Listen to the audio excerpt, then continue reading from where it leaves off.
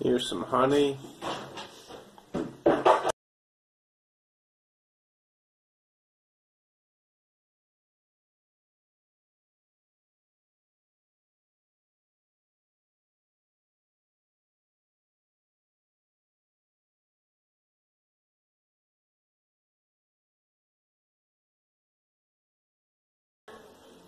Just took these frames off the hive. I'm going to use a butter knife to scrape them into this pot.